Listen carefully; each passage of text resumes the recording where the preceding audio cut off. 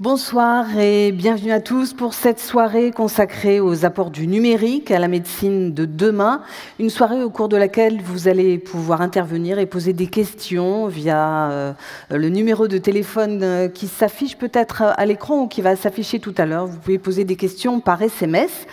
Vous le savez, le numérique est aujourd'hui omniprésent, assurance, banque, industrie, tous les secteurs s'en sont emparés et on en attend beaucoup, notamment dans le domaine de la santé.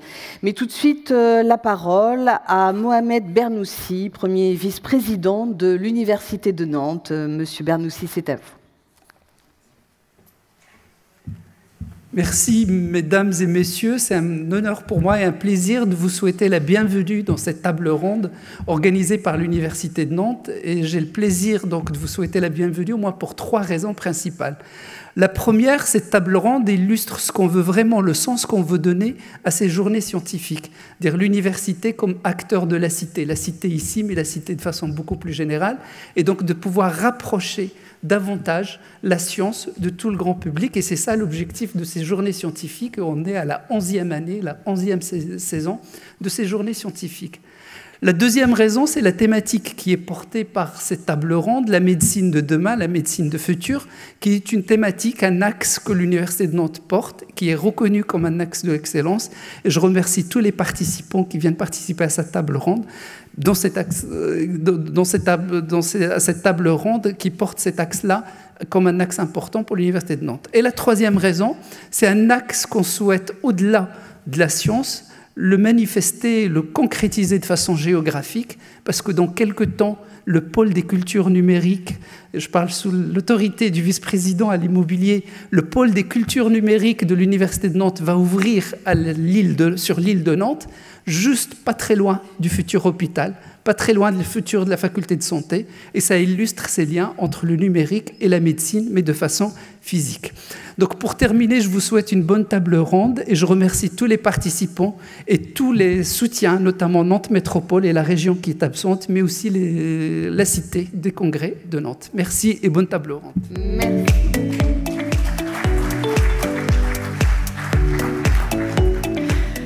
André Sobchak, vice-président Europe et responsabilité sociétale des entreprises de Nantes Métropole, c'est à vous pour un discours très court, m'avez-vous dit, moins de 30 minutes, c'est ça hein tout à fait. Monsieur le vice-président, mesdames, messieurs, c'est un très grand plaisir pour moi également d'être ici pour euh, afficher tout le soutien que notre métropole porte à l'université en général et à ses journées scientifiques. Euh, même si euh, l'enseignement supérieur de la recherche ne fait pas partie des compétences euh, au sens juridique d'une métropole, on a ici, autour de Johanna Roland, la conviction qu'il n'y a pas de métropole forte sans une université dynamique. Et c'est pour ça, effectivement, qu'on a décidé de soutenir, de doubler le budget consacré à l'enseignement supérieur et de la recherche dans ce mandat.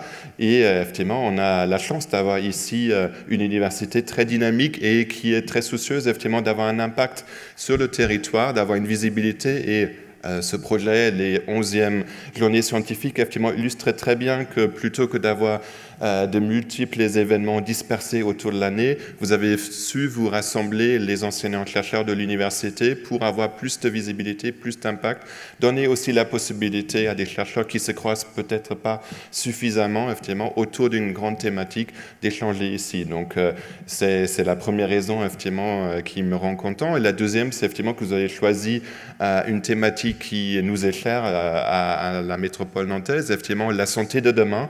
Euh, on a effectivement, vous l'avez évoqué, Monsieur le Vice-président, un grand projet, euh, le CHU demain, et autour du CHU euh, sur l'île de Nantes, effectivement, tout un quartier de la santé on a envie effectivement que c'est ici à Nantes qu'on va inventer avec vous, les enseignants-chercheurs, mais aussi les entreprises et des acteurs de la société civile, ce qui sera la santé de demain. Le numérique est certainement une brique très très importante et c'est pour ça que je suis très curieux d'écouter les échanges.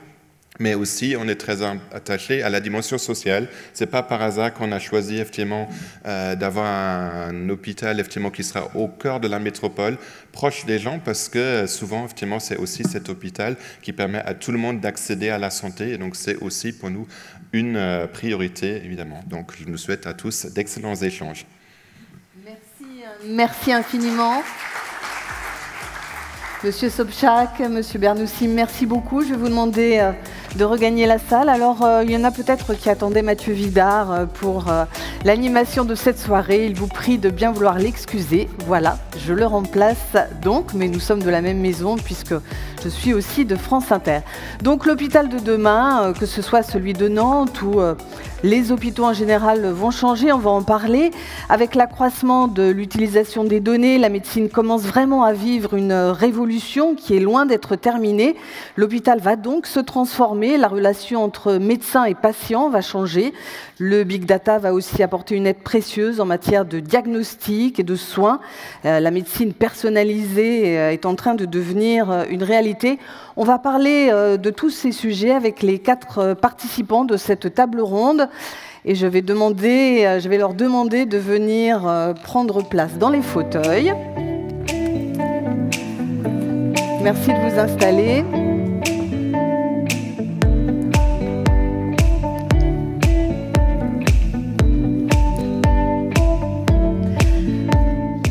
Bonsoir à tous. Alors, je vous présente Catherine Bourguin, chercheuse en génétique humaine et statistique à l'INSERM. Vous allez euh, nous parler de génétique. Vous menez des recherches sur les impacts sociaux de la génomique au sein du Centre de recherche médecine, sciences, santé et société.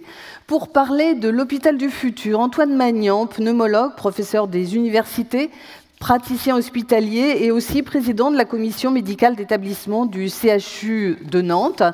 Euh, vous dirigez une équipe de recherche à l'INSERM. Vous avez été euh, coordinateur du projet Médecine personnalisée des maladies chroniques au CHU de Nantes. Ensuite, euh, je vous présente juste à mes côtés Patrick Mirou. Vous allez nous dire comment le numérique peut aider les médecins à lire les courriers de patients. C'est ce qu'on va voir avec vous. Vous êtes praticien hospitalier au département de médecine d'urgence du CHU d'Angers. Vous vous intéressez depuis très longtemps au numérique et vous participez à la constitution d'une ontologie, d'un dictionnaire en quelque sorte des termes médicaux. Ça s'appelle Ontolurgence et c'est via le projet L'Érudit, ce qui permet une lecture rapide en urgence euh, d'un dossier informatisé euh, de patients. Et puis euh, enfin, on va parler des recherches qui sont menées autour des apports du numérique avec Stéphane Tirard, professeur d'épistémologie et d'histoire des sciences au centre François Viette. Ce centre est à la faculté de sciences et techniques de l'Université de Nantes. Le centre François Viette est actuellement responsable du programme régional qui s'appelle Data Santé, médecine personnalisée et données en grand nombre, enjeu d'une nouvelle pratique. Antoine Magnan est-ce qu'on peut commencer avec vous? Vous dites qu'on est en train de vivre une révolution, que le fait que les dossiers des patients soient informatisés, dématérialisés, ça change énormément de choses.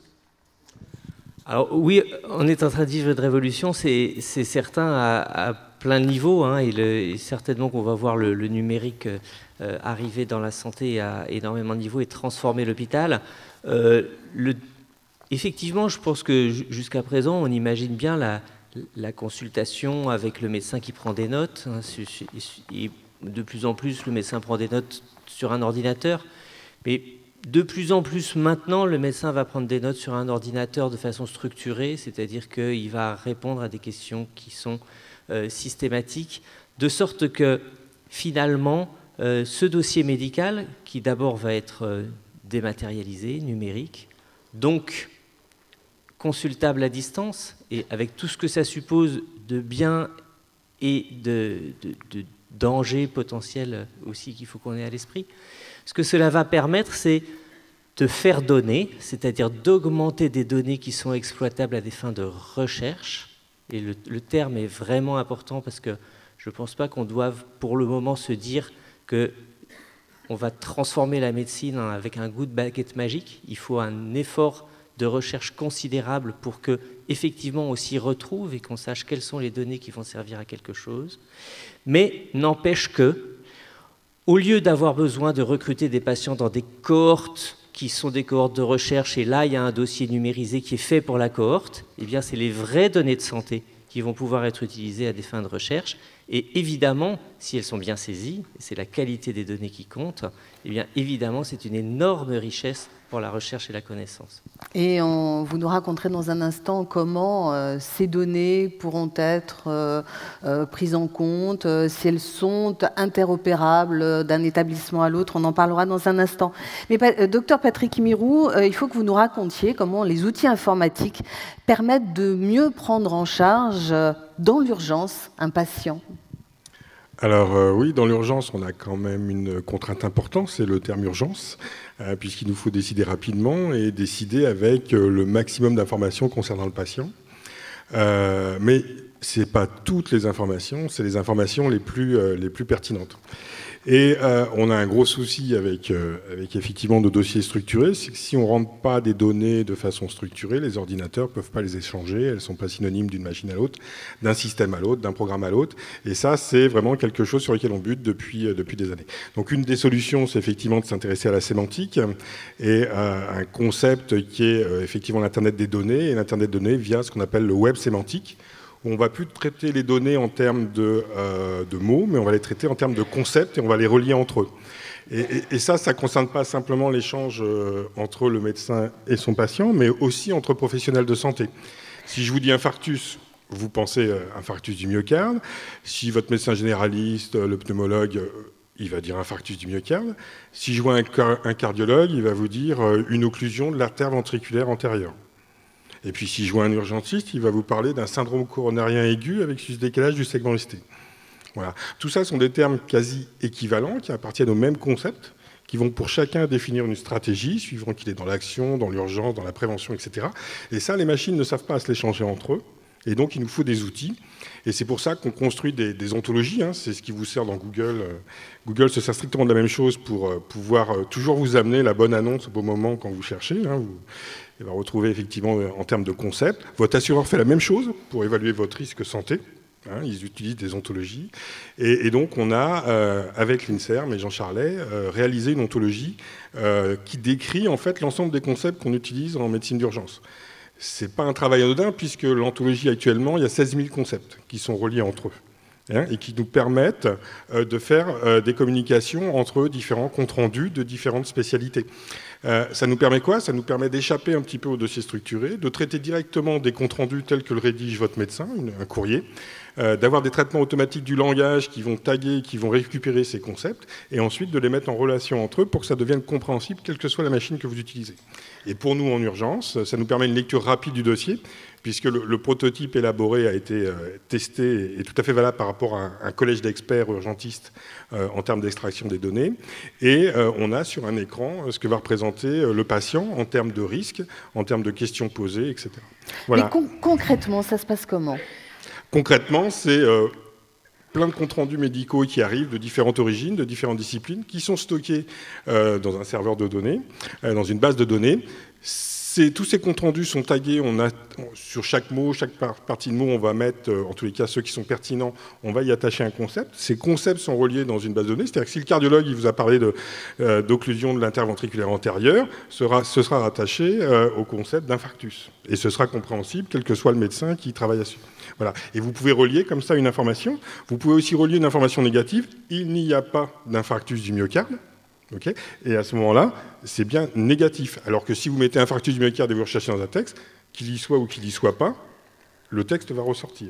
Mais ça permet de prendre en charge un, patient de façon plus rapide et plus précise Ça permet de décrire votre patient en termes de ce patient est à pathologie cardiovasculaire, donc il est à risque. Et donc s'il vient par exemple pour un, bras qui ne fonctionne pas, ben, on sait qu'il est plus à risque d'un accident vasculaire cérébral qu'un autre etc., ou d'artérite euh, de son membre supérieur, etc. Donc ça nous permet, nous, en fait, quand on va avoir des actes de régulation ou de décision aux urgences extrêmement rapides, de classer le patient en termes de probabilité d'avoir telle maladie par rapport aux symptômes qu'il présente à son arrivée aux urgences. Donc on a là un outil extrêmement intéressant pour décider. Hein. la plupart des patients, ils ne connaissent pas leur dossier, ils ne savent pas l'expression médicale de leur pathologie, hein, et on est, nous, en permanence, à reconstruire leur histoire médicale. Et généralement, on reconstruit leur histoire médicale aux urgences avec la liste des médicaments qu'ils prennent. C'est pour vous dire que malgré toute l'informatisation qu'on a fait, les dossiers, tout ce qu'on a à disposition, on est quand même assez rudimentaire au départ, et puis de temps en temps. Alors pourquoi on est rudimentaire? C'est pas qu'on n'a pas les données, c'est qu'elles sont dans des ordinateurs, qu'il faut trouver le bon compte rendu. Un patient qui a 65 ans, généralement, euh, plus de la moitié d'entre eux, ils ont moins deux médicaments, trois maladies. Voilà. Et donc, s'ils sont suivis dans votre hôpital, vous avez une centaine de documents au minimum. Il est clair que vous ne pouvez pas en faire l'analyse dans l'urgence pour décider. Voilà. Donc, c'est ce type d'information, de, précision euh, que peut nous apporter ce type de, technique. Par contre, il faut construire des dictionnaires, euh, des, sens, euh, des sens communs partagés. Bon, on reviendra vers vous dans un instant. Catherine Bourguin, vous êtes chercheuse en génétique humaine. Qu'est-ce qu'on fait aujourd'hui en matière de génétique avec les banques de données aujourd'hui? Alors, peut-être qu'il faut commencer par rappeler qu'aujourd'hui, on a des machines extrêmement euh, puissantes pour analyser l'ADN et que donc on produit énormément de données numériques. Et donc la génétique est vraiment euh, une pratique qui est extrêmement liée avec euh, les données numériques, avec l'informatique, etc. et alors c'est aussi important, c'est des, données des, des, bons élèves par rapport à ce dont on vient de parler, puisque comme elles sont produites par des machines qui sont directement reliées à des ordinateurs, ce qui va consister, la donnée génétique en elle-même est une donnée directement informatisée. Voilà. Et ça, c'est quelque chose à vraiment avoir en tête parce que ça, va vraiment euh, être très différent des données euh, cliniques dont on vient de parler ou d'autres formes de données biologiques. Alors, donc, ce sont des, bons, des bons, élèves, euh, mais en même temps, c'est pas une donnée qui est directement cliniquement, qui fait pas de sens clinique directement. Hein, il y a un beau côté et un mauvais côté de la chose. Et euh, pour pouvoir transformer une information sur l'ADN en euh, une information qui va avoir une utilité clinique, il faut interpréter cette information. Et c'est là où cette phase d'interprétation peut, dans certaines circonstances, nécessiter euh, de comparer l'ADN de la personne avec l'ADN d'un grand nombre d'autres personnes qui ont aussi une analyse génétique, qui ont aussi une analyse de leur situation clinique. Et donc les bases de données contribue énormément à transformer cette information biologique informatique en une information qui peut avoir une pertinence clinique. Alors, de quelle pertinence clinique il peut s'agir? Pour répondre directement à votre question, euh, historiquement, le, domaine euh, dans lequel ça s'est euh, le plus développé, bien évidemment, ce sont donc les maladies génétiques, qui sont ces maladies transmises dans les familles et qui ont une très forte composante génétique, c'est-à-dire que la génétique est vraiment la cause, enfin on, l'analyse comme étant la cause euh, de, la pathologie. Et aujourd'hui, euh, il y a toute une partie des patients pour lesquels euh, on a du mal à définir le diagnostic. C'est-à-dire que l'information clinique est importante, mais on n'arrive pas forcément à, dire de quelle maladie cette, personne souffre. Et en comparant les bases de données, en faisant des analyses génétiques, on peut avancer sur la détermination du diagnostic. Ça, c'est l'usage euh, euh, historique qui, s'améliore. Euh, il y a toute une série d'autres usages dont on peut parler. Je vais, faire court, mais en oncologie, par exemple, c'est là un, des domaines dans lequel ça se développe beaucoup. C'est un usage qui est lié aux médicaments, c'est-à-dire que pour mieux décider qui sont les patients chez qui on pense que la molécule va être utile, on fait une analyse génétique de la tumeur et non mhm. pas du patient. Voilà. Euh, avant de passer la parole euh, à Stéphane Tirard, une question euh, pour vous, Catherine Bourguin. Je pense qu'elle vous est plutôt destinée. Vaut-il mieux privilégier la qualité ou la quantité des données? Je ne suis pas sûre qu'elle ne me soit que destinée. je pense qu'on a tous des choses à dire.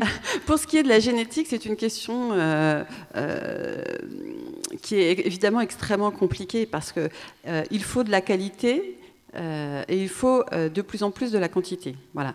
Euh, et donc autant dire que c'est impossible, hein, puisqu'on est quand même il faut quand même le dire à un moment donné dans un système où le, le système de soins est contraint financièrement et on ne peut pas non plus tout faire. Et ça, je pense que c'est quand même une donnée qu'il faut avoir en tête dans cette réflexion sur la, la, numérisation. Mais la qualité est extrêmement importante puisque, comme je viens de le dire, si on n'a pas des bonnes données cliniques à relier aux données génétiques cliniquement, euh, c'est compliqué, mais il faut de la quantité aussi pour pouvoir comparer euh, les, un individu à d'autres individus. Antoine Magnan? Euh, Pour la quantité, on n'aura aucun problème. Hmm. Ça déferle. et donc la grande difficulté, c'est d'identifier dans la, dans la très très très grande masse des données celles qui sont de qualité. Et celles qui sont de qualité, c'est celles qui ont été saisies avec une pensée qu'elle pouvait servir à ce que vient de décrire Catherine, c'est-à-dire que l'individu saisi dans une base de données où il va pouvoir être comparé à tous les autres, on ne peut le faire que si les données ont été saisies de la même façon qu'elles l'ont été pour tous les autres. Et donc, et donc là, c'est bien dire que c'est la qualité qui compte, mais qu'on n'aura pas de problème pour la quantité, donc on n'y a pas besoin de choisir. La parole maintenant à Stéphane Tirard. Stéphane Tirard, vous, vous travaillez dans le domaine des sciences humaines et sociales et vous allez nous présenter le programme Data Santé. C'est un programme qui est financé par la région, qui regroupe des philosophes, des juristes, des psychologues, des historiens. Et quel est le but de Data Santé? Data Santé est effectivement un programme interdisciplinaire de sciences humaines et sociales. Un certain nombre de collègues de la région ont trouvé intéressant de prendre comme objet d'étude cette transformation très profonde de la médecine qui est en train de, se développer actuellement et que mes collègues ont commencé à, présenter depuis quelques minutes. Et donc nous, essayons, après nous être regroupés dans toutes ces disciplines que vous avez évoquées, vous, en avez peut-être oublié certaines, et comme je n'ai pas retenu votre liste, je ne vais pas la ah, recommencer, mais hein. pratiquement toutes les disciplines de sciences humaines et sociales sont concernées. On avait dit philosophe, juriste, psychologue, historien. Oui, Qu'est-ce qui manque les, sociologues, les économistes également, ah par exemple. Euh, et donc, tous ces collègues sont, se sont réunis autour d'informaticiens, de biologistes, de médecins. Nous travaillons tous ensemble pour effectivement nous poser des questions qui sont des questions de fond sur cette, euh, transformation. Alors, on l'a vu euh, dans la discussion telle qu'elle s'est entamée, c'est un sujet extrêmement vaste que euh, l'arrivée du numérique en médecine. Pour rester extrêmement concret, nous avons identifié dans les pays de la Loire cinq programmes de recherche biomédicale sur lesquels nous essayons de centrer nos travaux et nos interrogations. Et typiquement, la question qui vient d'être posée sur la qualité et la quantité des données, est une question qui euh, peut être euh, évidemment traitée techniquement par euh, ceux qui opèrent dans ces domaines-là, mais sur lesquels les sciences humaines et sociales peuvent de fait s'interroger. Peut-être qu'on reviendra sur ce genre d'aspect plus tard, mais c'est typiquement ce, genre de questions qui, qui nous intéresse. Qu'est-ce qui fera que les données seront bonnes et pourront être utilisées, seront de qualité, et que signifie le fait d'en avoir énormément, sont des questions qui peuvent être déclinées euh, suivant différents aspects des sciences humaines et sociales. Mais quand on a préparé cette table ronde, vous m'avez dit quelque chose, moi, qui m'a semblé très important. Vous m'avez dit, le sujet est vraiment très important. Il y a une révolution qui est en train de s'opérer. Il faut prendre le temps de réfléchir. Absolument. Et ça, on peut se réjouir que la région des Pays de la Loire ait, fait le, pari de soutenir un groupe d'un peu plus de 50 chercheurs pour s'interroger sur une transformation dont tout le monde dit qu'elle est euh, inévitable, en cours. Aujourd'hui, c'est déjà demain. Mm. Euh, tel outil, alors qu'on vient de l'acheter, est déjà démodé. Euh, tout ça nous précipite vers l'avant. Or, il faut absolument que notre société s'accorde la possibilité de réfléchir posément, sereinement sur tous les problèmes qui peuvent se poser et sur la signification de cette transformation. Donc c'est en fait l'ambition de, ce programme et euh, c'est pour ça que nous avons réuni tout ce panel de, chercheurs. Et vous nous présenterez dans le courant de cette table ronde euh, quelques-uns des, quelques-unes des recherches que vous menez. Mais cette question est pour vous. Euh, quelle est la place attribuée actuellement à l'interdisciplinarité et donc aux sciences humaines et sociales, en particulier à l'analyse lexicométrique de discours en recherche clinique à l'université? C'est une question qui est pointue qui est pointue, qui est extrêmement, euh, extrêmement précise. La, recherche interdisciplinaire, eh bien, je pense que le programme Data Santé euh, l'illustre parfaitement. Donc euh, l'interdisciplinarité, la mise en œuvre de l'interdisciplinarité, c'est un choix, c'est un choix intellectuel de la part des chercheurs qui s'engagent dans ces, voies-là, et c'est aussi, un, choix institutionnel, parce qu'il faut donner les moyens aux chercheurs qui veulent faire de l'interdisciplinarité de le faire c'est-à-dire leur accorder euh, du temps et euh, évidemment des moyens, euh, des moyens financiers également. Et après, dans la deuxième partie de, de, la, de, la, question, il y a une zone qui est un petit peu plus piège, je pense, l'analyse lexicométrique de discours en, recherche clinique à Nantes. Alors là, j'avoue que je ne sais pas s'il y a effectivement à Nantes un, un des collègues qui travaillent dans ce domaine-là. Je m'en réjouirai d'ailleurs et je les inviterai à nous rejoindre au sein de, Data Santé. Mais c'est effectivement quelque chose de tout à fait intéressant et qui rejoint, je pense, les préoccupations de Patrick Mirou et de la constitution d'anthologie. On ne pourra pas se passer de ce genre d'approche pour constituer une utilisation mhm. euh, correcte de données qui... Euh, Il faut que les données soient cohérentes. Voilà. Et puis, travailler sur le sens et la signification de ces données, c'est une, une nécessité évidente. Alors, je vous propose de parler euh, de l'hôpital du futur.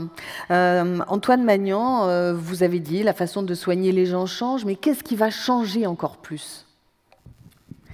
Il va y avoir des découvertes grâce au numérique, il va être plus facile de prédire.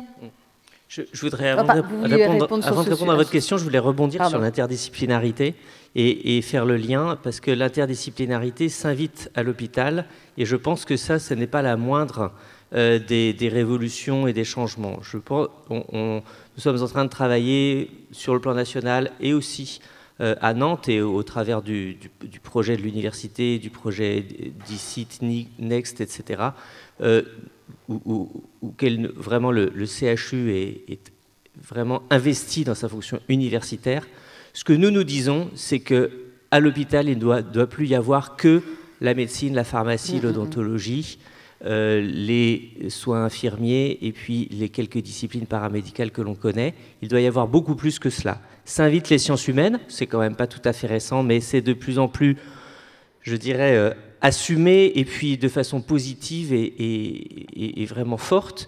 Les sciences, tout court, les, et les, sciences qu'on dit euh, dures, en tout cas les, les étudiants de la fac des sciences, les ingénieurs et les sciences de l'ingénieur, les mathématiciens, les juristes, et je pense que vraiment, on a là à l'hôpital, et le numérique n'est pas étranger à ça, parce que c'est une force qui rassemble la force numérique, puisqu'on peut travailler sur des documents qu'on partage, euh, eh bien ça, intéresse cela. Vous disiez, donc votre question, c'est comment est-ce que ça change? Bon, je crois qu'on on est euh, à un moment aussi où la santé publique nous euh, oblige à évoluer. Nous avons euh, une augmentation très importante de la, de la fréquence des maladies chroniques, au gré du vieillissement, au gré du changement de l'environnement, de plein de choses. Nous avons aussi les cancers qui deviennent des maladies chroniques, ce qui est très important parce que c'est une vraie révolution et c'est une bonne nouvelle, évidemment. Euh, mais cela nous oblige à euh, prévoir ce qui va se passer plutôt que d'attendre que les patients se dégradent et que mm, mm, mm. Euh, finalement ils coûtent, si on peut dire les choses comme ça, très cher au moment où finalement les recours que l'on peut avoir sont limités.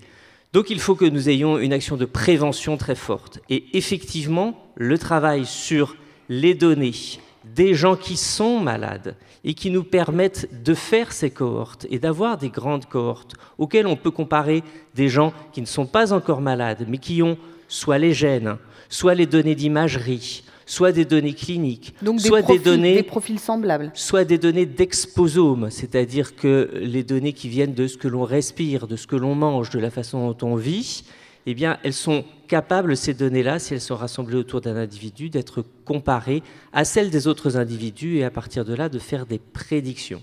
Alors, ce qui est important de dire une fois qu'on dit prédiction, c'est qu'on n'est pas des devins. C'est-à-dire que la prédiction, elle est entachée d'une très forte incertitude et qu'on ne peut pas jamais, on ne pourra jamais dire à coup sûr. N'empêche que ça permet d'isoler euh, des groupes de patients qui se ressemblent beaucoup et qui sont porteurs finalement d'une maladie, mais qui appartiennent à un sous-groupe au sein d'une même maladie, chez lesquels les traitements ne vont pas être les mêmes que dans l'ensemble des patients malades et on va identifier comme cela. Et c'est ça la médecine personnalisée, c'est-à-dire que le groupe est de plus en plus petit et qu'on peut s'adresser in fine à un tout petit groupe de patients avec une prise en charge adaptée. Et donc, une vraie vous avez répondu en partie à la question qui est posée par euh, euh, quelqu'un dans la salle. Le professeur Magnan parlait d'utiliser les données informatiques des patients dans l'intérêt de la recherche médicale.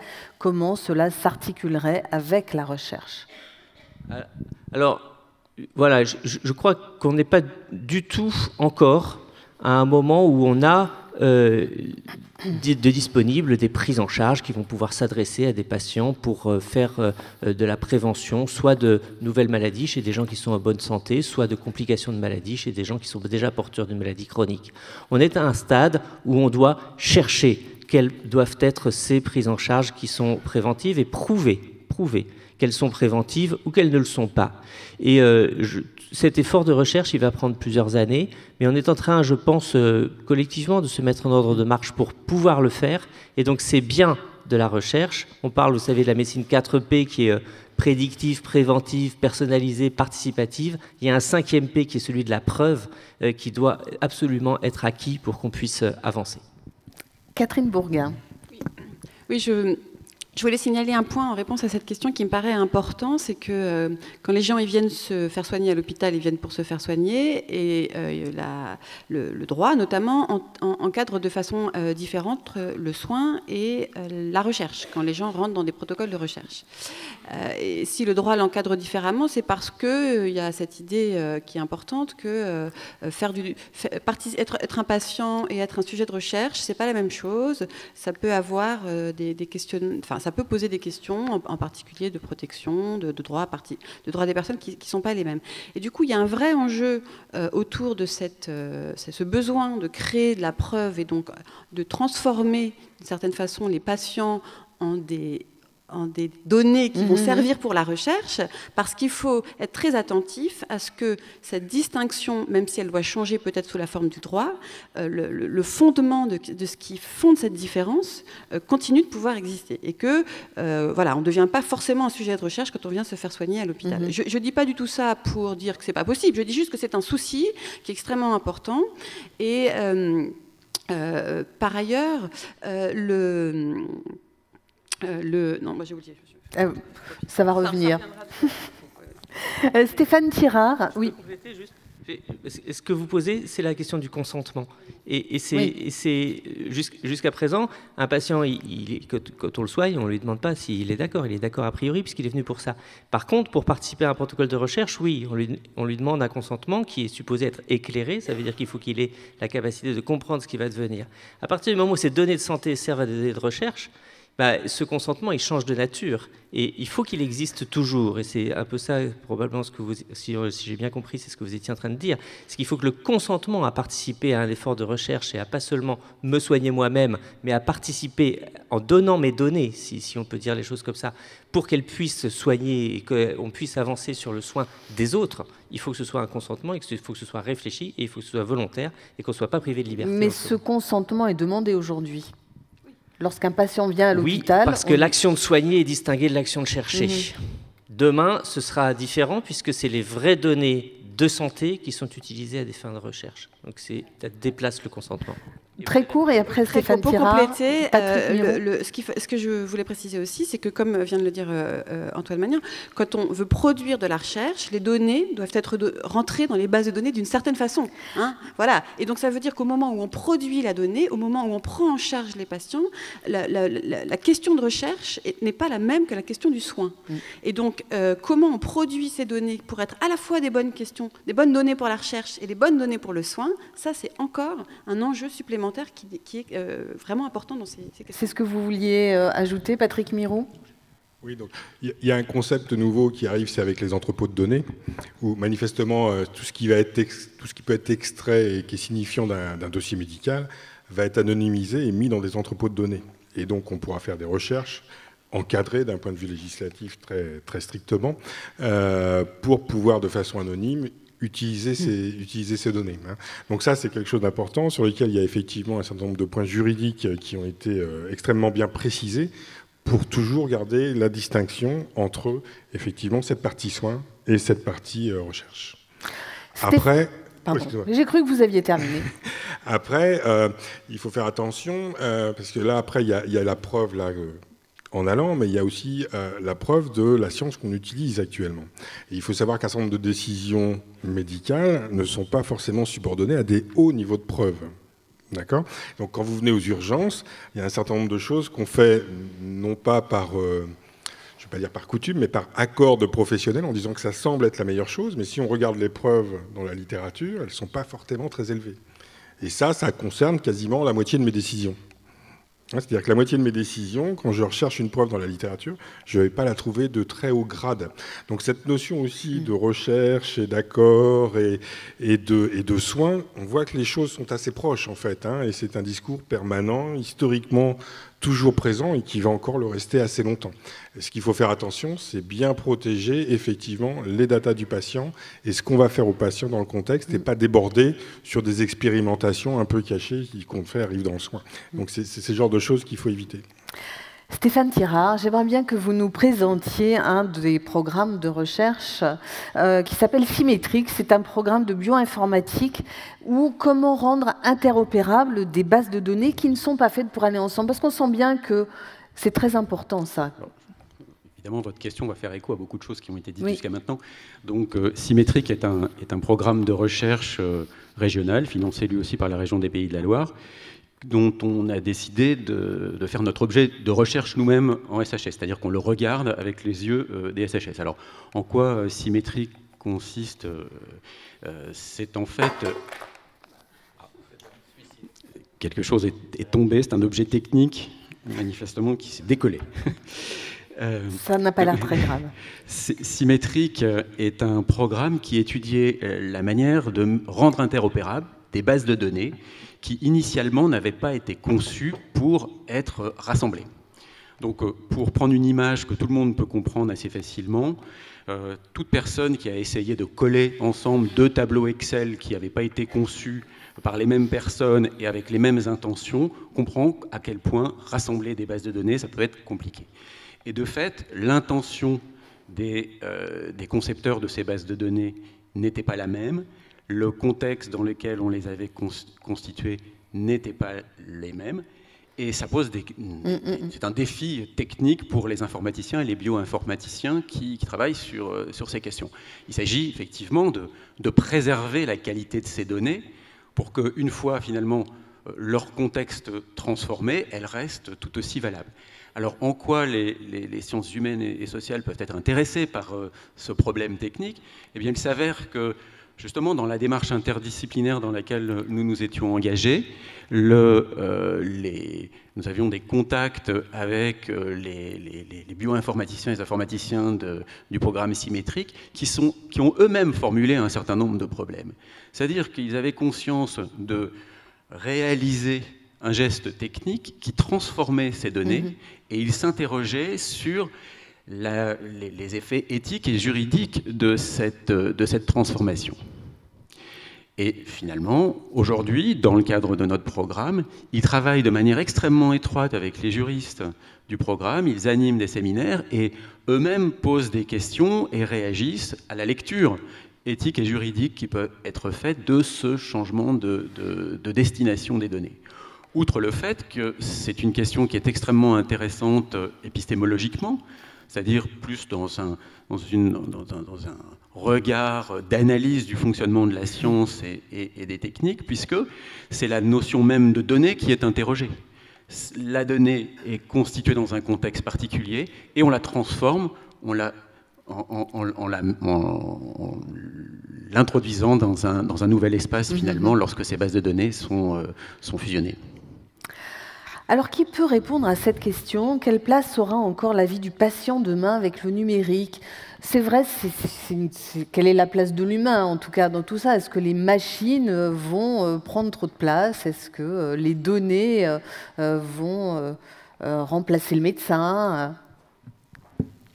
Je, réponds avec plaisir à cette question-là. On pourrait, en plus, j'aime bien parce qu'il y a un jeu de mots possible avec la vie du patient. Mm-hmm.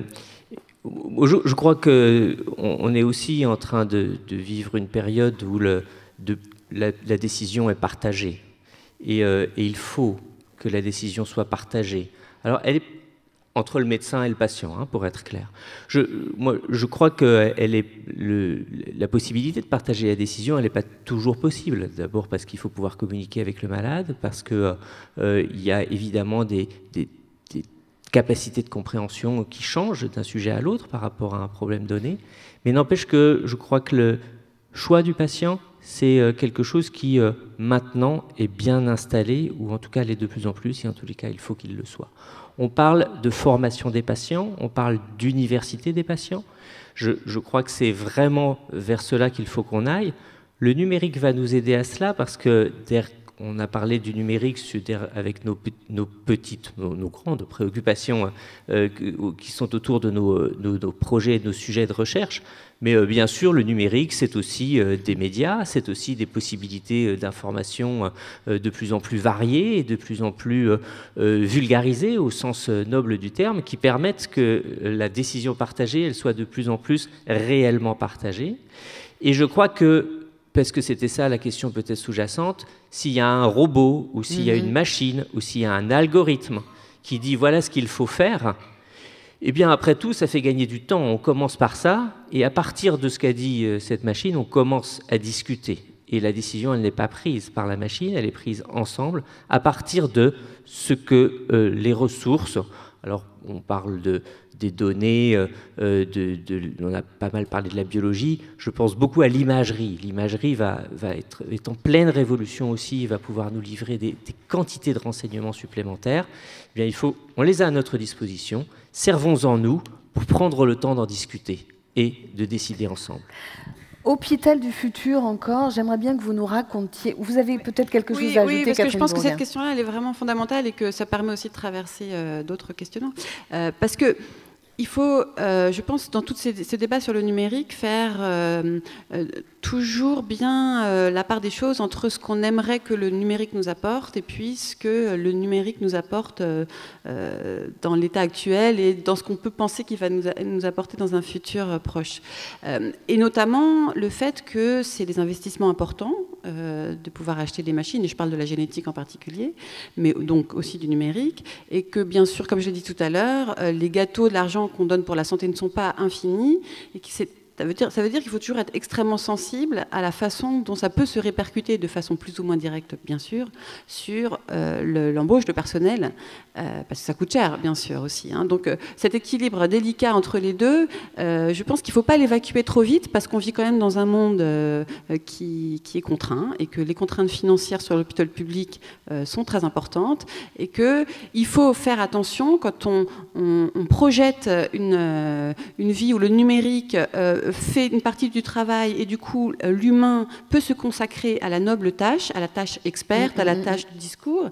Euh, ça, c'est une projection qui est tout à fait idéale, euh, mais qui peut en pratique se retourner dans l'autre sens. C'est-à-dire il n'y a plus que des machines et il n'y a, plus d'humains, voilà, parce que ça coûte trop cher. Donc cette interrogation-là, je pense qu'elle doit être très permanente pour faire, des, pour faire des, des, choix et faire attention à ce que les promesses ne soient pas trop euh, agissante aujourd'hui euh, euh, pour construire un monde qu'on refuse tous collectivement. Mm, mm. Voilà, c'est ça que je veux. enfin, en préparant cette table ronde, j'ai bien compris que la place de l'humain resterait, devrait rester prépondérante. Antoine Magnan, est-ce que vous pouvez aller un peu plus loin encore dans la façon dont les patients vont être reçus à l'hôpital dans les années à venir grâce au numérique? Enfin, grâce, oui, avec le numérique. Euh, pas que, hein, euh, mais c'est vrai que le numérique est, toujours au centre. Moi, je crois qu'il agit à, plusieurs niveaux. On parle de, de la prédiction. Madame Bourguin, vous avez une question. Ah, il y a une question pour hein. Madame. Il, ah, pardon. il, faut que vous la prépariez. Hein. Euh, donc, on, parle de, on parlait de la prédiction et de la, possibilité d'action préventive.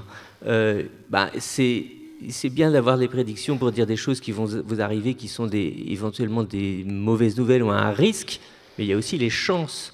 Et, je crois que cette euh, valeur prédictive négative aussi de dire vous n'êtes pas à risque euh, d'avoir euh, telle ou telle complication de votre maladie chronique, elle va évoluer plutôt bien.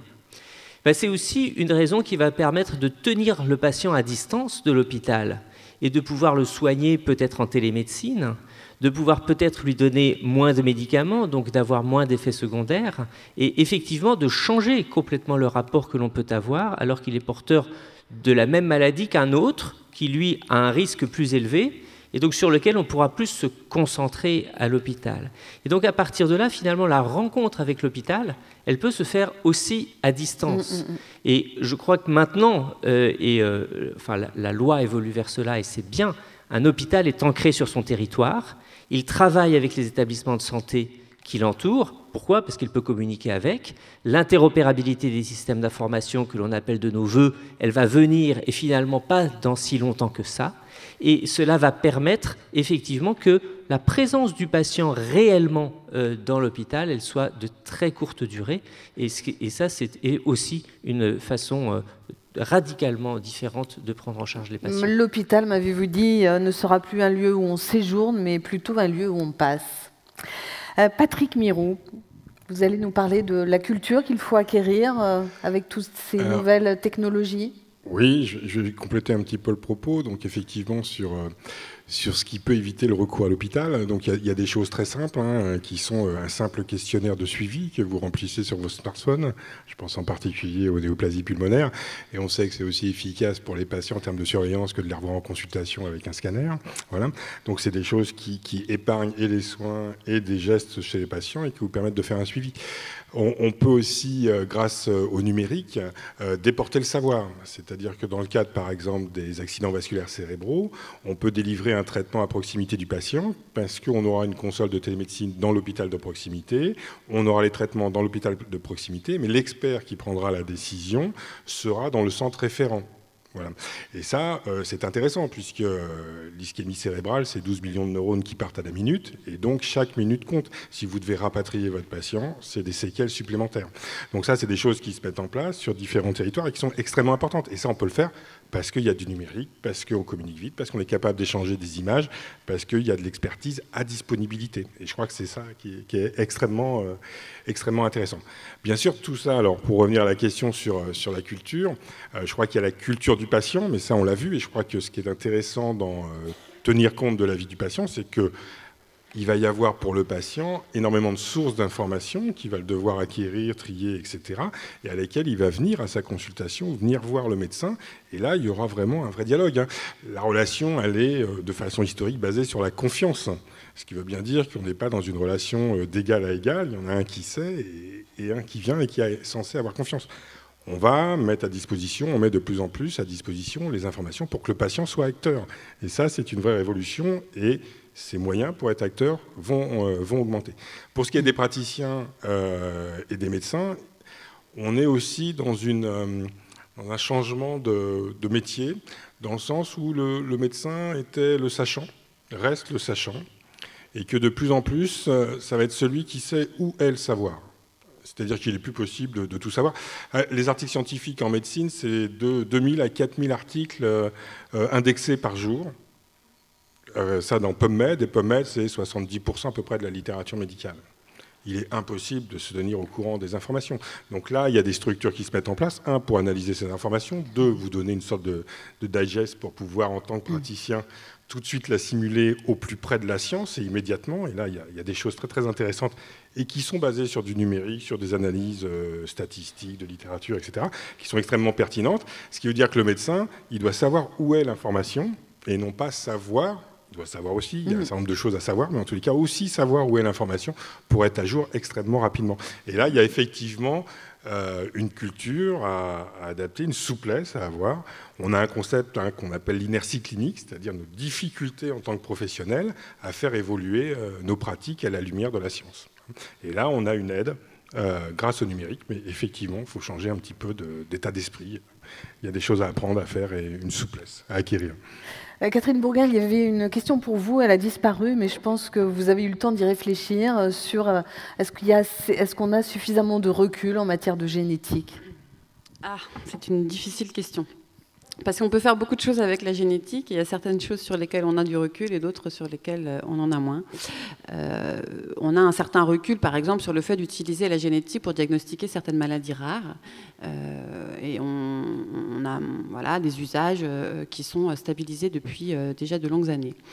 Là, par contre, où le recul est beaucoup moins important, c'est sur la diffusion des tests génétiques en dehors de ce je dis petit, c'est pas du tout pour minorer parce que ce sont des maladies importantes et qui concernent des gens. Enfin, euh, en tout cas, en, proportion de l'ensemble des maladies, ces maladies dont je viens de parler sont une petite proportion. Et la génétique aujourd'hui euh, euh, tente à se diffuser dans quasiment toutes les maladies. Voilà. Et donc, dans ces autres maladies, qui sont des maladies très complexes et qui, ça a été déjà dit par Antoine Magnan, qui, qui sont des maladies qui sont très liées aux expositions au cours de nos vies, qui sont liées bien évidemment à des facteurs génétiques, mais des facteurs génétiques qui sont toujours en interaction avec l'environnement. donc, tout ça, c'est un réseau extrêmement complexe.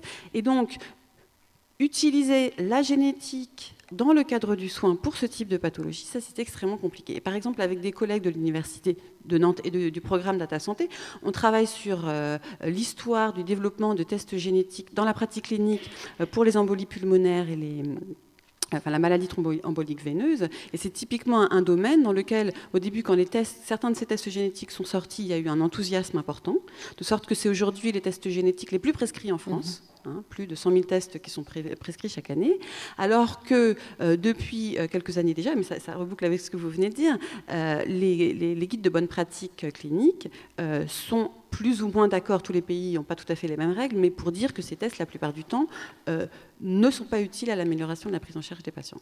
Mais en même temps, ils sont là. En même temps, ils permettent de répondre aux patients qui disent Mais pourquoi moi, euh, un jeune homme de 25 ans, euh, je fais tout d'un coup une embolie pulmonaire?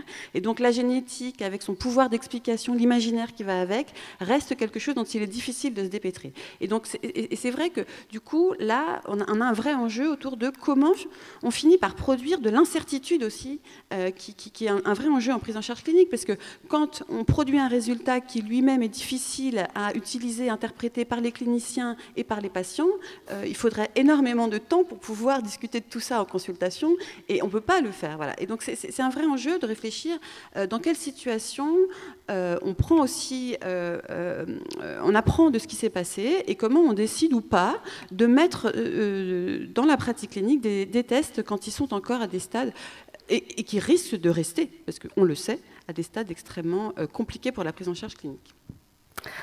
Alors, euh, pouvez-vous nous illustrer, c'est une question de la salle, concrètement, moi j'aime bien les questions concrètes, une expérimentation numérique qui augmente le savoir-faire du médecin ou du soignant Qui peut répondre à cette question Antoine Magnan?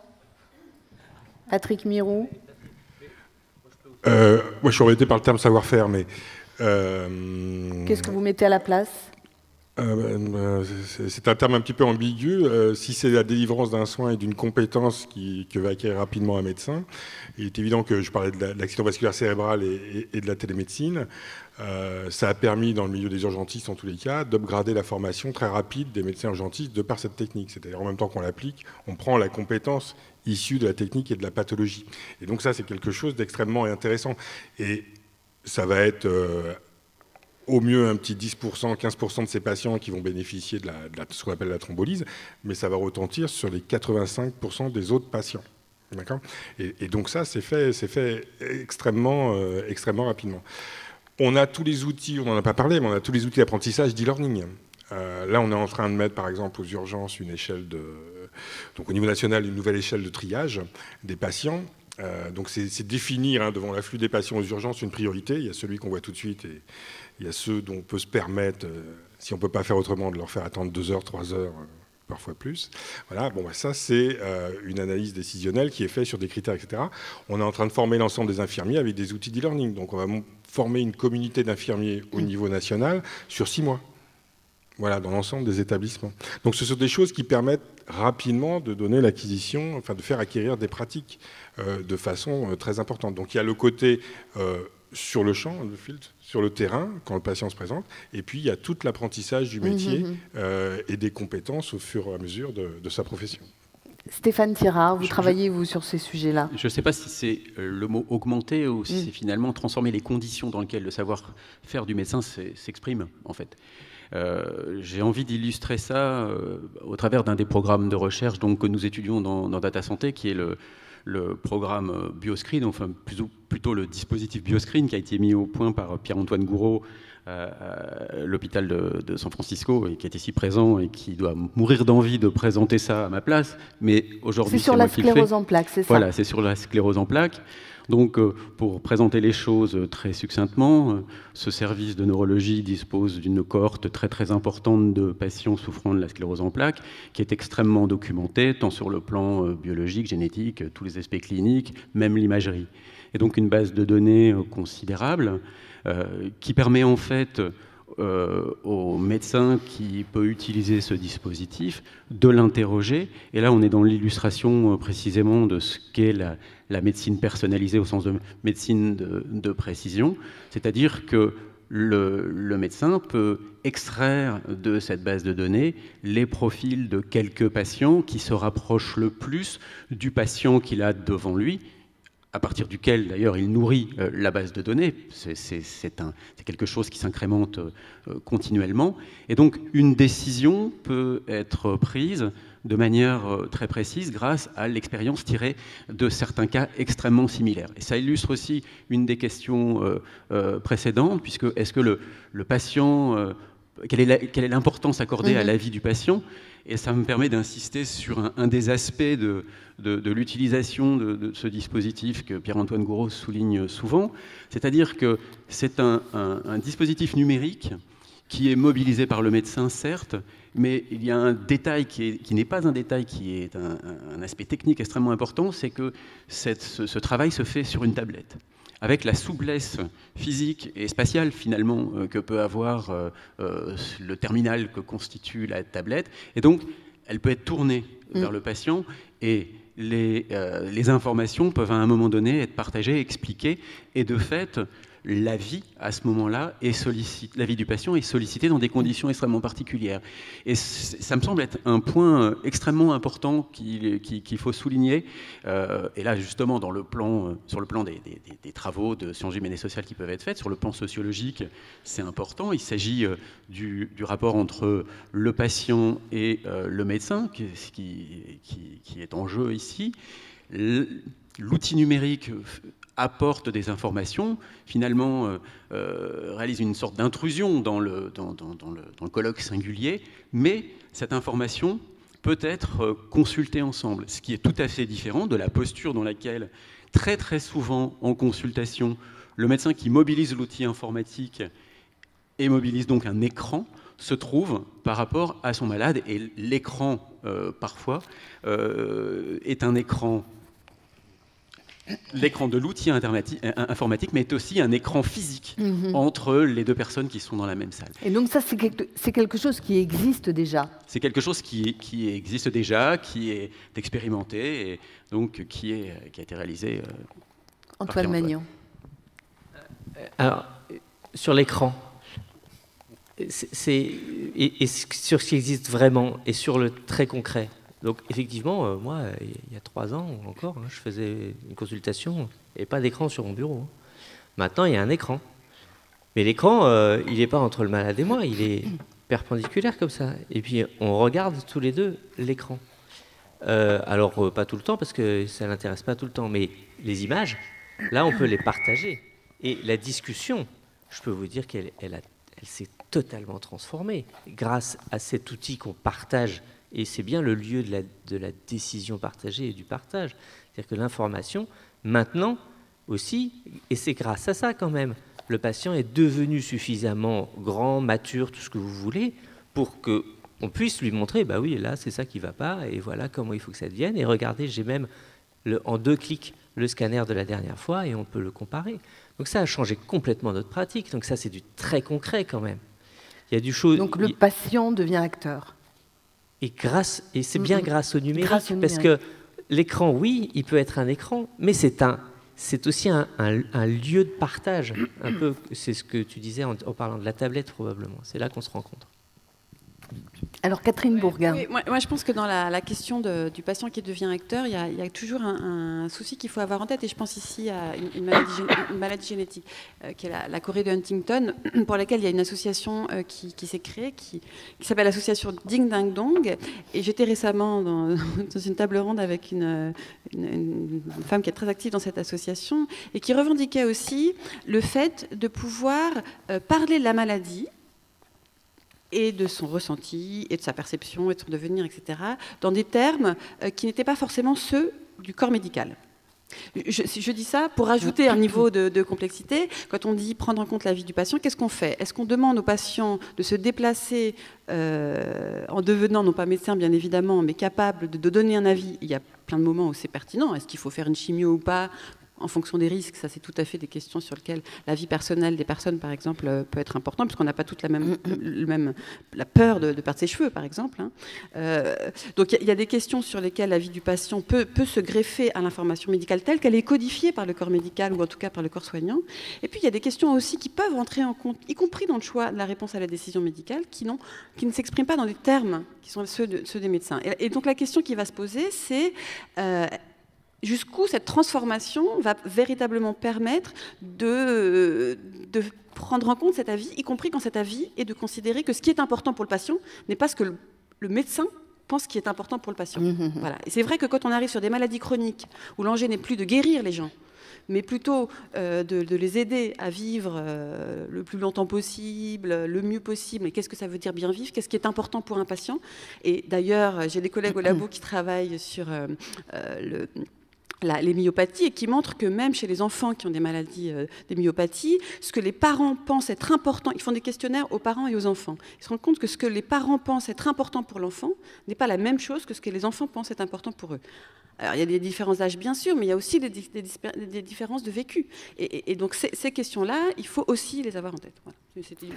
Alors là, il y a une question euh, pour Patrick Pirot. je ne sais pas. Grâce à l'accumulation des données et recueil de témoignages, est-ce qu'on ne peut pas parfois considérer qu'Internet est une source plus fiable que l'avis du médecin? C'est vrai que beaucoup de patients aujourd'hui vont sur Internet. Je suis totalement d'accord avec le terme parfois. Ouais. le tout, c'est de savoir quelle fois. Voilà. Et si vous arrivez à définir ça, il n'y a aucun problème. On est d'accord. Non, j'en dirai pas plus. Le, souci d'Internet, c'est qu'il y a beaucoup de données, il y a beaucoup d'avis, elles sont plus ou moins scientifiques. Même nous, dans la littérature scientifique, il y a énormément de critiques. Il euh, faut savoir qu'on euh, a eu quand même quelques dépublications, de choses comme ça, d'articles scientifiques qui étaient un peu ou sur lesquels il y avait des erreurs majeures. Ça avait quand même passé des, comités de lecture de, haut niveau dans ces, dans ces revues. Euh, et donc, il y a des revues maintenant qui demandent que les chercheurs mettent à disposition de la communauté médicale les données sources. Ça, vous paraît quelque chose d'évident, mais euh, en gros, ça fait six mois. Ok, ça fait six mois. Avant, euh, le comité de lecture pouvait analyser un article, le valider et le mettre euh, dans sa revue sans avoir les données sources. D'accord? Et on pratiquait comme ça. Et, donc le fait de faire ça, ça veut bien dire que euh, bah, même dans la littérature scientifique, il y a des articles qui ne sont pas forcément d'un haut niveau de preuve et d'un haut niveau de fiabilité. Donc si on repart après avec l'ensemble de la littérature grise... Est-ce que vous pouvez être plus précis et expliquer vraiment ce que ça veut dire? Alors, j'ai pas été clair. Euh, si, mais je, si, si, non, mais je comprends bien, j'ai pas été clair. Alors, euh, quand, hmm. on, quand on fait un article, on va, on va, enfin, quand on fait une, une, recherche, on va utiliser des tests statistiques sur une population. Hein. on extrait une population, on va dire que c'est un groupe témoin, que ça vaut pour tous ceux qui ressemblent à cette population, et puis on va en tirer des conclusions. Les tests statistiques sont assez bien définis, et puis on a tout un tas de data, justement, fiabilité des données dont, on parle depuis le début, qui ont, été, euh, euh, qui ont été prises par les chercheurs et qui ont été analysées. Et puis ensuite, on a euh, un article qui va se rédiger et qui va avoir certaines, conclusions par rapport à ces données. Et, là, il y a tout un tas de, de, strates, on va dire, de mécanismes où la conclusion peut être un petit peu excessive par rapport à la réalité des données. Voilà. C'est pas forcément euh, de la fraude, hein. ça peut être simplement une analyse euh, statistique qui est un petit peu, un petit peu présomptueuse, etc. Euh, mais il y a aussi, il faut le dire, des revues qui veulent faire un petit peu le buzz et des fois le titre n'est pas du tout ce qu'on lit dans la conclusion de l'article. Bref, il y, a toutes ces choses qui font que déjà pour des articles dans des, dans des revues scientifiques bien, bien cotées, il y a déjà des, des, difficultés de validité des données. Mmh. Quand vous allez dans la littérature grise sur Internet, où là, on n'a pas de comité scientifique, de relecture de l'article, etc., etc., là, vous avez une marge d'erreur et d'approximation, euh, voire euh, de, comment, de croyance, allons-y, euh, qui, va, qui va ressurgir. Hein. Quand vous allez sur Google, c'est le genre de choses qui vont ressurgir. Après, si vous faites un test pour des choses assez communes, etc., on le fait, nous, avec nos étudiants. On prend Google, on met des signes cliniques et on voit ce qui sort. Il n'y a pas de problème. Hein. Dans 80% des cas, ils ont le bon diagnostic. Hein. Il y a même des fois des dossiers sur lesquels on staff on est un peu juste, et donc ils utilisent Google, et on regarde nous dans les bases de données, on voit qui est le plus rapide. Ça arrive que Google nous sorte le bon résultat, mais ce n'est pas suffisamment fiable pour pouvoir en tirer une, règle. donc le terme parfois me paraît mm, tout à mm. fait adapté. Or nous, on a besoin pour la décision, et pour prendre une décision éclairée en accord avec le patient, d'avoir quand même euh, une certitude un peu avancée. Stéphane Tirard, j'aimerais bien que vous nous. Euh, Catherine Bourgoin, vous vouliez. la génétique est particulièrement un point sensible sur cette question d'Internet. Pour deux raisons. La première, c'est qu'il y a énormément de boîtes privées qui vendent des services euh, sur mmh. Internet, des tests génétiques. Mmh. C'est interdit en France aujourd'hui, mais ça n'empêche pas les gens d'y avoir accès. Il y a énormément d'articles dans la grande presse qui sont consacrés à ça. Euh, et voilà, les généticiens, en tout cas en France, sont souvent mobilisés pour alerter sur toutes les approximations qui pour certaines sont très graves, euh, qui euh, sous-tendent les modèles économiques et donc les discours aussi qui sont vendus de façon extrêmement friendly, euh, sympa, c'est pour s'amuser, etc. Mais quand on parle de santé, ça, ça, pose des questions plus importantes. Et récemment, avec des collègues, on a écrit une tribune, et c'est vraiment sur, sur, cette question-là, qui s'appelle Halt au fake news génétique, voilà, qui est paru dans le monde, et où là, on s'attaque à quelque chose qui peut être encore socialement euh, plus important, qui est que avec ces discours-là, en, capitalisant sur ces modèles qui sont développés par ces boîtes privées, il y a tout un discours, y compris dans la communauté scientifique, où on nous explique qu'il y a énormément de, choses qui sont dans, dans, les gènes. Et donc il y a toute une floraison d'articles scientifiques, y compris dans les grandes revues scientifiques, sur euh, les gènes de l'intelligence, les gènes du QI, qui nous expliquent que plus de 50%, 70% de l'intelligence serait euh, dans les gènes. Or, tout ça repose sur des modèles, et là on revient quand même à la question des données et du numérique, parce que tout ça repose sur des modélisations statistiques qui sont extrêmement simplificatrices, qui ont été inventées à la fin du 19e siècle par les statisticiens eugénistes, mmh. et qui sont une vision extrêmement réductionniste du vivant et qui ont, ces modèles ont des utilisations, ont des usages, mais quand on arrive chez l'humain, quand on arrive sur la, maladie, et encore plus sur des traits sensibles comme la question de l'intelligence, c'est une, simplification qui, qui, arrive à des, à, des euh, conclusions complètement fausses. Donc je, voulais juste... Euh, Donc prudence. voilà. Euh, très vite, Patrick Miroui, et ensuite Stéphane Tirard. Pour, expliquer la, valeur des données, il y a, a quelqu'un qui s'est posé la question, ça devait dans les années 60, 70, qui est Archibald Cochrane, qui s'est dit mais pourquoi on n'a pas quelque part l'état de la science avec les preuves, etc. etc. Il en est la Cochrane collaboration, ce qu'on appelait la médecine factuelle, l'évidence base médecine. Bon, il se trouve que je participe, moi, euh, du côté urgence au, fil d'urgence de, de, la Cochrane. Et donc on analyse la littérature, c'est-à-dire que sur une question donnée, euh, clinique, euh, très simple, hein. euh, tel médicament dans l'infarctus est-elle efficace, etc. Et on va donner une réponse en, accumulant l'ensemble des études parues. On essaye de récupérer les données, on a des techniques de méta-analyse, etc., pour en sortir un niveau de preuve. L'objectif, c'est que comme on a une plus grosse population, manifestement, on aura une certitude plus grande. Il faut savoir que pour la moitié des questions qu'on se pose, c'est à peu près une centaine par mois, toutes, toute disciplines confondues, hein, la moitié, c'est nous n'avons pas de preuves suffisantes. Donc il faut bien comprendre que déjà dans le milieu scientifique, euh, on est déjà euh, à un niveau de mhm. certitude qui n'est pas du 100% pour tout ce qu'on fait. Bien loin de là. Donc si vous allez en plus dans la littérature grise, vous arrivez à un niveau d'incertitude extrêmement important. Stéphane Tirard, j'aimerais bien que euh, vous nous parliez du programme de recherche qui est dans Data Santé et qui concerne le syndrome de Brugada, la mort subite chez l'homme.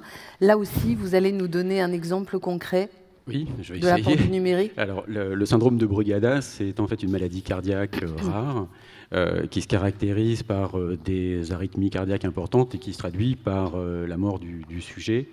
et c'est une maladie qui est très étudiée à Nantes, à l'Institut du thorax, qui dispose de la cohorte la plus importante au monde dans le, dans le domaine. C'est une maladie pour laquelle on n'a pas en fait de, de traitement, donc c'est un objet d'étude évidemment pour les, médecins, les chercheurs euh, très très important. Et euh, l'idée est venue de, tester, euh, grâce à cette maladie, l'utilisation d'un outil numérique qui s'appelle la Connectivity Map et qui permet de comparer des bases de données entre elles. Donc euh, la première base de données, c'est évidemment euh, celle issue, base de données génétique issue des cellules, donc euh, de cette cohorte mhm. de malades de Brugada.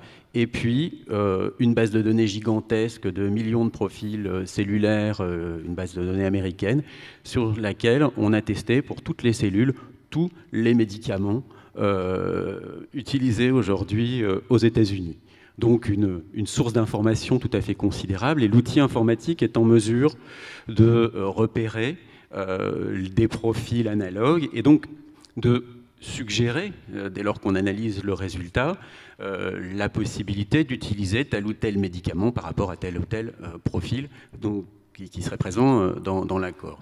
Alors c'est intéressant parce que bah, c'est un usage des données, parce qu'on voit bien que des deux côtés de l'Atlantique, du coup, il y a des données qui ont été saisies et, euh, il s'agit bien du, big data, et puis euh, un outil algorithmique qui, euh, évidemment, lui aussi numérique, et permet cette, cette comparaison.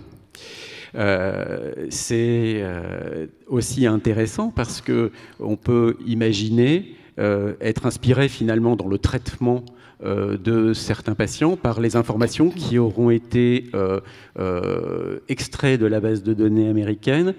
Et ce sont de simples corrélations entre des profils. Et il s'agit donc d'imaginer l'utilisation d'un traitement sans que l'explication de ce traitement ait pu être mise en œuvre. Donc il y a là un changement. C'est une façon d'aborder la médecine. C'est une autre façon euh, d'aborder le, traitement, donc une, une, transformation euh, rendue possible par euh, les big data et l'outil numérique d'une manière générale. Alors en quoi ça intéresse un programme de SHS Je reviens toujours à, mhm. à mon credo avec Data Santé. Eh bien, tout simplement parce qu'au fond, c'est une transformation du raisonnement médical. Donc là, c'est une question de, philosophie des sciences qui est, qui est en jeu. Et le programme nous a permis donc euh, d'engager un doctorant, que j'ai d'ailleurs aperçu tout à l'heure, dans euh, l'analyse de cette, euh, de cette mise en œuvre. Donc il y a à la fois le suivi d'un programme de recherche qui utilise un nouvel outil numérique, la Connectivity Map, et puis une réflexion sur la possibilité d'un nouveau type de, de raisonnement, la mise en œuvre de nouveaux types de raisonnement en médecine rendu possible encore une fois par ces transformations euh, techniques. On voit bien que le numérique peut apporter euh, beaucoup de choses et va changer beaucoup de choses, mais est-ce qu'il n'y a pas des freins, est-ce qu'il n'y a pas des verrous euh, à faire sauter pour que le numérique soit vraiment présent dans le domaine de la santé?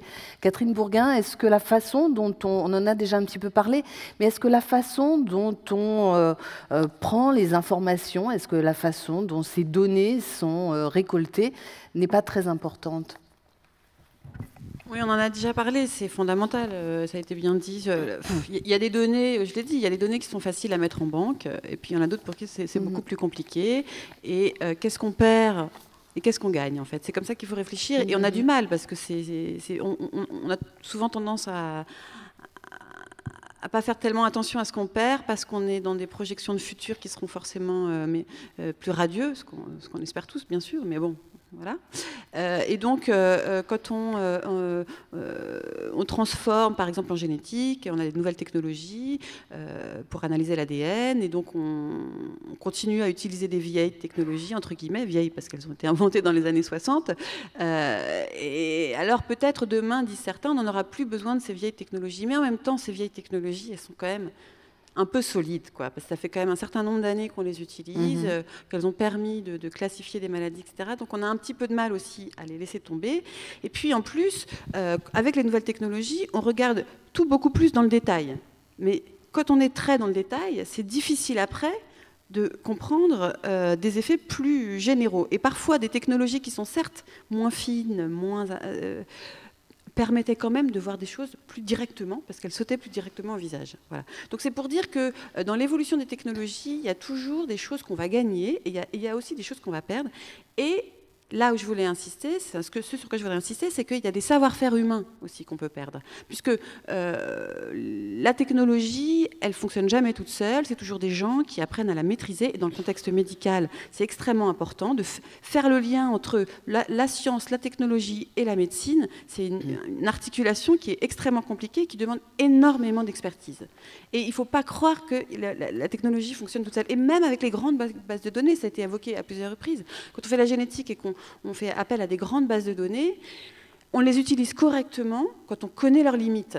parce qu'on sait que les médecins, quand ils ont rempli la base, ou les scientifiques, ils ont fait ça parce qu'ils pensaient à ça, mais ils n'ont pas pu mettre ça, etc. Donc quand on va réutiliser la, donnée, euh, si on veut la réutiliser correctement, il faut faire attention à toute cette recontextualisation.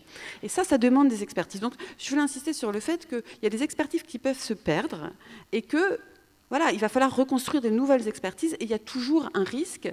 Euh, et, avec la génétique, on le voit bien. Il y a des gens, j'en parlais à l'instant, mais il y a des gens qui arrivent dans le domaine de la génétique et qui ne sont pas du tout formés à tout ce qui s'est fait au cours des 50 dernières années en génétique humaine en France et qui pensent que tout ça c'est simple, que les modèles qu'on utilise sont, la vérité alors que c'est des constructions, qui connaissent pas les limites de ces modèles et qui du coup vont mettre peut-être 20 ans, 30 ans à se rendre compte qu'il y a des limites, mais pendant ces 20 ans, 30 ans, on aura perdu les savoir-faire qui était avant. Donc cette question de, l'attention à ce qu'on va perdre en humain, euh, dans, la compétence des scientifiques, des médecins, des soignants, etc., je pense que c'est une vigilance qui doit être obsédante sur euh, cette transformation du numérique. Alors pour qui est cette question? Quelle serait la place de l'intelligence artificielle dans la pratique médicale? Serait-elle un outil d'accompagnement ou un outil d'anticipation de l'évolution d'une maladie? Antoine Magnan? Oui, c'est étonnant qu'on n'ait pas encore prononcé le, terme d'intelligence artificielle, parce que finalement, c'est de cela que nous parlons euh, depuis, le début. Euh, et, c'est bien, euh, effectivement, la façon de, de modéliser les systèmes biologiques qui permettent à un moment donné qu'il y ait une machine, un ordinateur qui puisse vous proposer une décision à prendre qui puisse proposer un diagnostic, qui puisse proposer l'évolution euh, d'une situation ou qui puisse même proposer un médicament euh, à prescrire. Donc oui, bien sûr que c'est ça la cible, c'est euh, l'intelligence artificielle au service de la santé et au service de la médecine. Il est important de dire, on l'a déjà dit tout à l'heure, mais c'est toujours bon de le redire, que si ça fait gagner du temps d'utiliser ces algorithmes, c'est bien pour qu'on le récupère pour faire autre chose, par exemple pour s'occuper des gens, plus, une fois que la question technique aura été euh, résolue euh, finalement avec l'aide de la machine. Et ça, je crois que c'est le vrai service que rendra euh, l'intelligence artificielle en nous rendant quand même meilleurs dans la performance, parce que je crois que l'algorithme bien construit sera meilleur dans sa, proposition, parce que plus objectif. Euh, Stéphane Tirard, est-ce que euh, dans le domaine euh, des sciences humaines, on réfléchit à la façon dont les médecins vont s'approprier ces nouveaux outils? On essaie de réfléchir à la manière dont les médecins s'approprient ces nouveaux outils, parce que c'est déjà cette transformation est déjà en marche. Je pense qu'il y a des aspects qui sont extrêmement importants à prendre en, compte, et ça prolonge un petit peu la question précédente. Euh, il faut s'interroger sur la capacité qu'on aura euh, dans l'avenir à continuer à penser, à être capable de penser sans l'outil. Euh, il faut s'interroger sur la capacité qu'on aura à apprendre à penser avec l'outil. Et puis surtout, euh, on parle depuis tout à l'heure d'une transformation qui nous touche de plein fouet. Euh, on, a bien conscience que ça fait quelques années que, cette transformation est là avec beaucoup d'intensité, mais elle va se prolonger pendant des années, voire des décennies. Donc il va falloir continuer à apprendre à penser avec des outils qui se transforment continuellement. C'est-à-dire, on est euh, contraint dans l'avenir à imaginer que si on a appris certes à penser avec des outils, il va falloir apprendre à penser avec des outils nouveaux et avec des outils qui se transforment.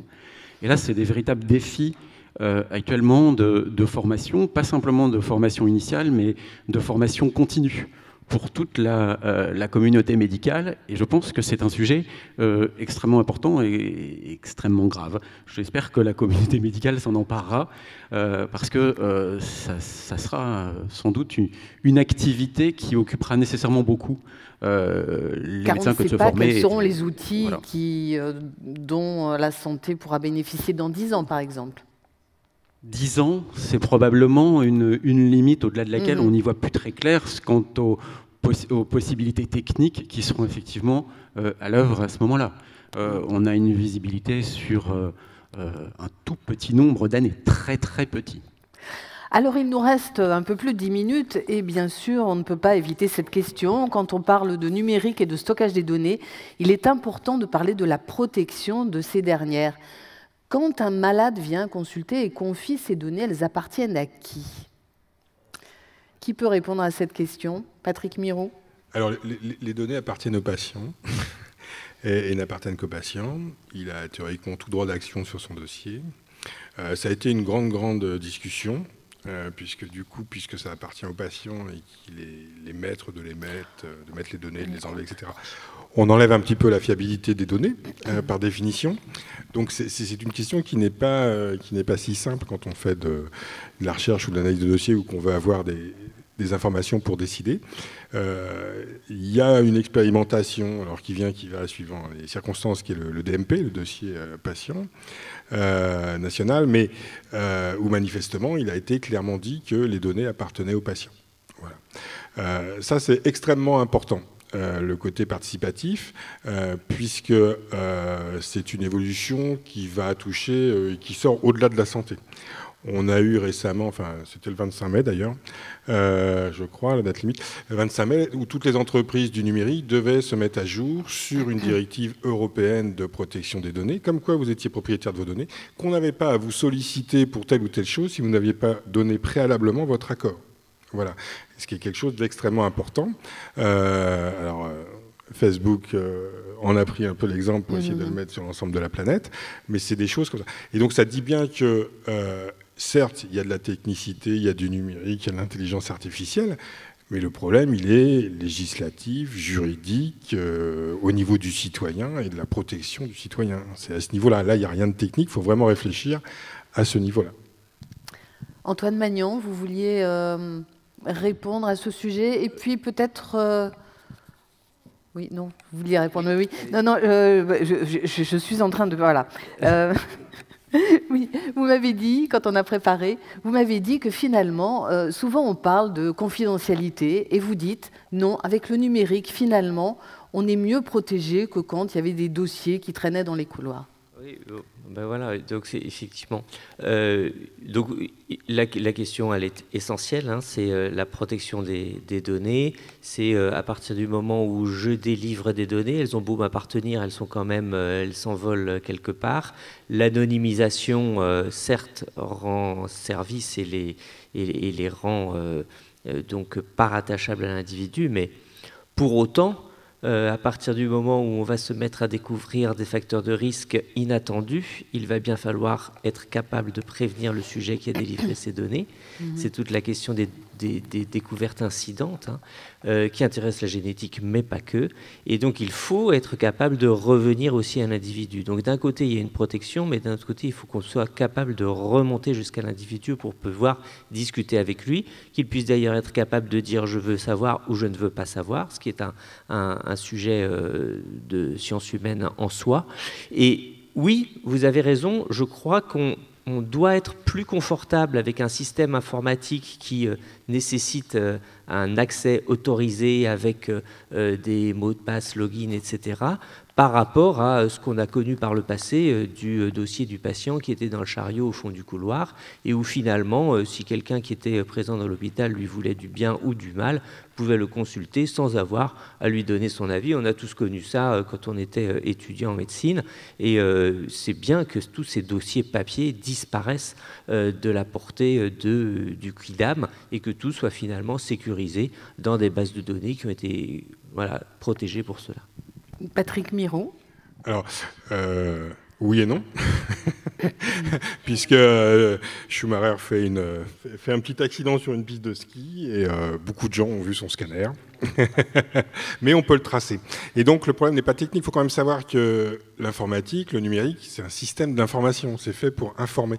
Donc par nature, c'est fait pour garder une information à disposition et l'identifier. Hein, donc quand vous demandez à un système informatique d'être anonyme, c'est un peu contre nature. Hein. et donc il faut toujours avoir ça euh, en tête. Et donc ce qui va, ce qui va sécuriser le système, c'est bien le côté juridique. Hein. et c'est à ce niveau-là, au niveau juridique, la responsabilité, la traçabilité de chacun, qu'il euh, y aura une sécurité. il faut se méfier de euh, on a des mots de passe, c'est sécurisé et c'est inviolable. Ça très clairement d'expérience. Catherine Moi, je voulais revenir sur un autre aspect de cette question qui n'était pas questionné, mais qui, je pense, se questionne, c'est la question du stockage. Parce que, avec l'explosion de toutes ces données, se pose la question du stockage. par exemple, je, vais revenir à ce que je disais tout à l'heure sur les analyses. Aujourd'hui, quand on fait un séquençage d'ADN, on peut avoir des gigas, des, enfin, des, des gigaoctets, voire beaucoup plus d'informations pour un individu. Et puis, ce séquençage pur, comme je l'ai dit tout à l'heure, il a un certain sens aujourd'hui, il en aura peut-être un autre demain quand on aura d'autres données, etc. Qu'est-ce qu'on va archiver? Est-ce qu'il faut archiver tout? Et comment on va l'archiver? Euh, combien ça va nous coûter d'entretenir cet archivage? Est-ce que c'est vraiment utile cliniquement, etc. Donc il y a toute une série de questions autour de l'archivage qui se posent différemment avec le big data et qui se posent en plus d'autant plus différemment quand c'est des données numériques et que c'est pas euh, des échantillons de, mm-hmm. paraffine qu'on va stocker ou des, lames, etc. Donc il y a aussi toute une question sur l'archivage. Il, y, a la protection, mais il y a aussi l'archivage des données qui fait partie des, éléments qui sont modifiés par l'archivage et comment on va retrouver ces données. Retrouver, réutiliser, etc. Stéphane Tirard, est-ce que, euh, puisqu'il était question euh, de, questions juridiques, est-ce que euh, dans vos programmes de recherche, vous vous intéressez à ces sujets? Oui, tout à fait. Je l'ai dit tout à l'heure avec le programme sémantique. Il y a donc une, collaboration étroite entre les bioinformaticiens et les, juristes. Et sont de fait, les chercheurs en, droit sont aux, premières loges dans ces questions. C'est eux qui analysent ces, cadres juridiques et réglementaires, qui, législatifs et, réglementaires, qui, qui encadrent l'utilisation de ces données, leur stockage, leur appartenance. Ce qui est certain, c'est qu'ils vont être aux premières loges, et, là j'insiste sur le fait que euh, on est dans une dynamique et dans une transformation, ils vont être aux premières loges pendant longtemps et tout le temps parce que nécessairement, euh, les règlements, les lois vont devoir évoluer avec euh, mhm. des outils et des, instruments qui, qui, se transforment. Mais de fait, au sein de, notre groupe, il y a tout un, noyau de, juristes qui, qui s'intéressent beaucoup à ces questions. Ce qui m'a frappé euh, au cours du développement de ce, programme, c'est que finalement, un certain nombre de questions euh, juridiques et éthiques émanaient directement euh, des concepteurs et des utilisateurs de ces outils. Euh, au sein même du, groupe que, nous constituons, il y a donc des bioinformaticiens, des médecins, des biologistes qui sont euh, euh, donc engagés dans des travaux qui mobilisent du big data, des algorithmes depuis maintenant des années et qui se questionnaient et qui se posaient des questions donc en dehors de leur champ de compétences et qui ont été heureux de pouvoir peut-être pas obtenir directement des réponses, mais formuler ces questions qui deviennent en soi des, des, des, éléments mhm. euh, de programme de recherche pour euh, euh, les juristes. Et ça, c'est extrêmement fructueux. On, on, voit là le, ce qui peut émerger de rencontres interdisciplinaires. Alors, on nous a passé un petit message, il reste quelques minutes. En conclusion, qu'est-ce qu'il faudrait retenir, Antoine Magnan, quand il est question des apports du numérique dans la, pour la santé de demain? Quel est le, message avec lequel il faudrait repartir ce soir, d'après vous? Bah, je crois qu'on n'est pas encore on n'est pas capable de mesurer euh, la, transformation qu'on est en train de vivre. Moi, je crois mhm. que c'est ça que, j'ai envie de dire. Nous, euh, CHU de Nantes, on est sur la construction d'un nouvel hôpital qui ouvrira en 2026. C'est énormément de questions encore, euh, mais il faut bien que les décisions soient prises, que les plans soient faits, qu'on sache comment est-ce qu'on fait.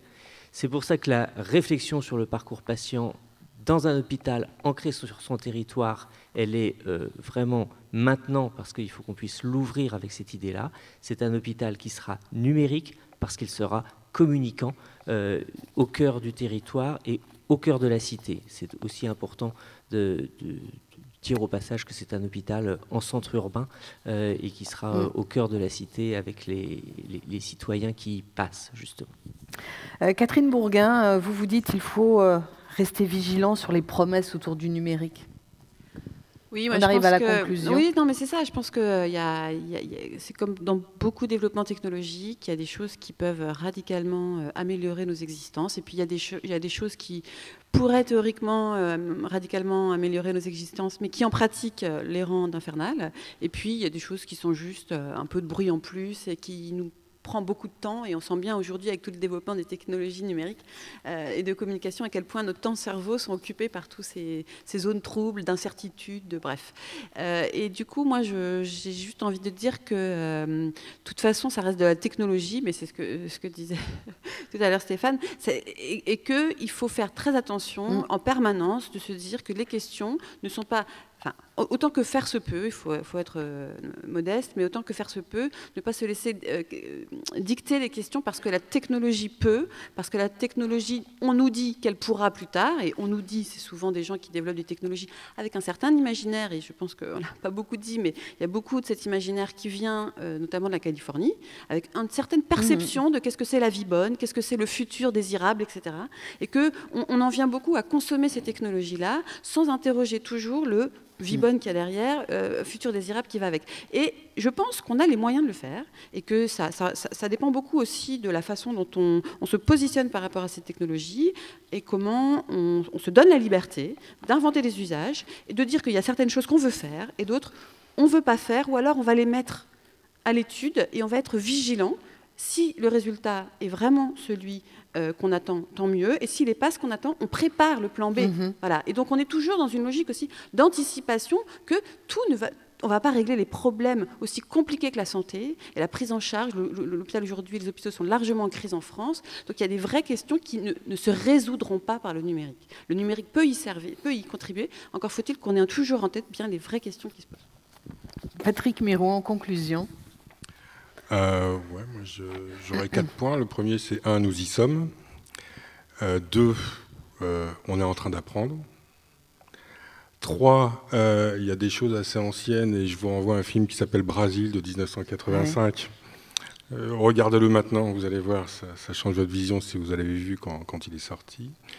Et quatrièmement, je vous encourage à lire un ouvrage sur l'intelligence artificielle de Laurence de Villers qui s'appelle Des robots et des hommes, qui est sorti en février dernier et euh, vous aurez un certain nombre de concepts et vous verrez que tout ça existe depuis les années 70, hein, que ces notions sont très anciennes et qu'on est toujours en train d'apprendre à s'en servir. Très bon livre de Laurence euh, de Villers, je suis d'accord avec vous. Le mot de la fin, Stéphane Tira. Je crois qu'effectivement, nous sommes dans une transformation qui est, qui est lancée actuellement, mais qu'il faut refuser euh, l'injonction de la précipitation et du aujourd'hui, c'est déjà demain s'accorder le temps de la réflexion et euh, organiser des espaces pour que cette réflexion puisse avoir lieu. Et pas se laisser euh, dicter l'avenir par euh, les, les, simples possibles technologiques. Car ce ne sont que des machines. Voilà, et eh bien merci à tous les quatre, merci infiniment pour euh, euh, toutes ces, pistes de réflexion et de voir qu'on réfléchit vraiment profondément à ces sujets. C'est très rassurant de voir que l'humain a encore toute sa place, c'est aussi rassurant. Merci à tous les quatre et puis merci à vous et bonne fin de soirée. Merci. Merci.